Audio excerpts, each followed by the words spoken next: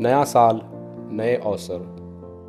नया साल शुरू होते ही दिल के किसी कोने में जगते हैं लाखों अरमान। अरमान आगे बढ़ने का, कुछ कर दिखाने का। देखते ही देखते पूरा साल गुजर जाता और सारे अरमान उसी कोने में दबे रह जाते।